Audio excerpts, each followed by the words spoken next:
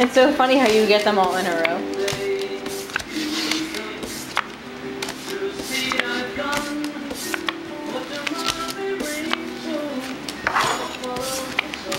Claire, you can't do it with a spoon. I know. I just wanted you guys to get excited. You cheated. I, I picked up for my card first. Uh, did you have your four aces? Uh, as I got my four fours? You didn't cheat. You just didn't make your cards available and I'm a bad loser.